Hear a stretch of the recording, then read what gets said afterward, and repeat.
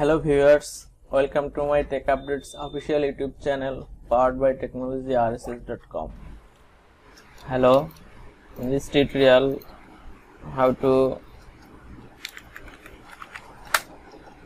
set up a static IP address from Ubuntu 21.04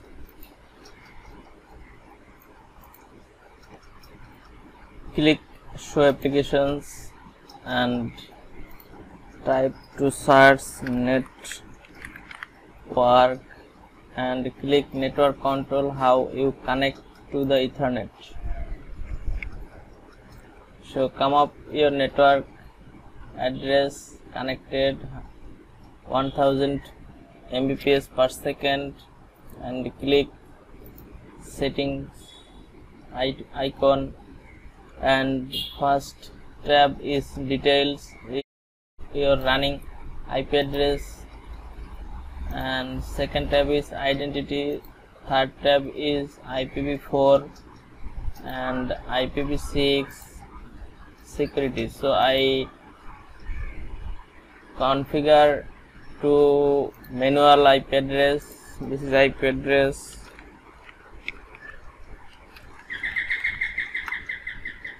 and net mask and the gateway.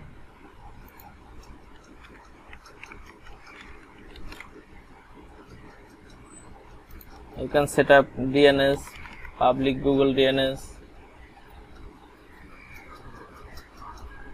and click apply close this network interface and now I check.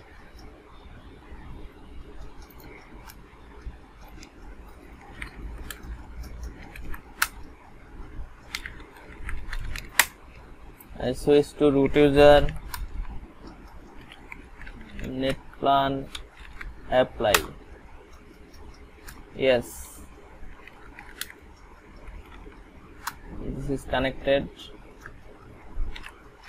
and check IP address 10.66.100.12